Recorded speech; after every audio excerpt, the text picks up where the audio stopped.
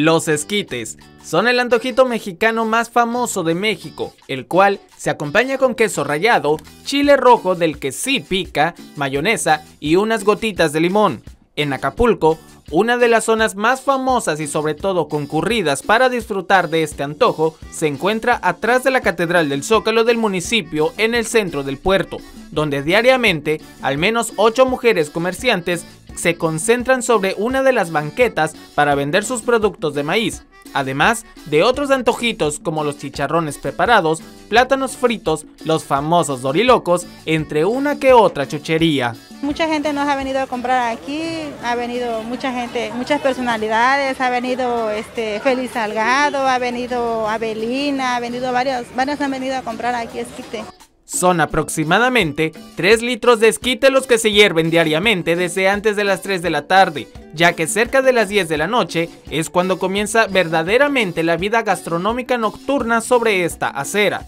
Los esquites van desde los 25, 30 y hasta los 40 pesos. Sí, no, bueno, todo el día no, porque llegamos a las 3, de 3 a 10. De hecho, la venta es de 3 a 10 nada más, pero nosotros esperamos a los clientes porque le decimos que nos vamos a las 11. Los esperamos una hora más, ya a las 11 ya nos empezamos a retirar. Diariamente, la avenida La Quebrada en el centro del puerto recibe a por lo menos 100 personas al día de todas las edades que disfrutan este manjar mexicano, el cual lo acompañan con cacahuates, totopos, churritos enchilados, chile para frutas, salsa de chile de árbol o con la tradicional salsa preparada que las comerciantes realizan. En palabras de algunos compradores que iban por primera vez a comprar su esquite, describieron el ambiente como muy bueno. De hecho es la primera vez que vengo, no conozco muy bien aquí, pero la cultura es bien, o sea, el ambiente es muy bueno.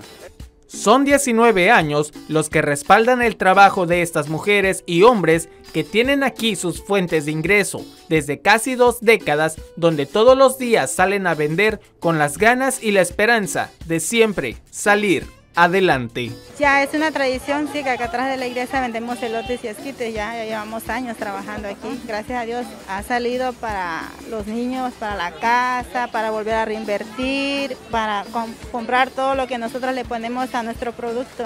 Con imágenes de Cecia Lozano, para N3 Guerrero, Jafet Flores.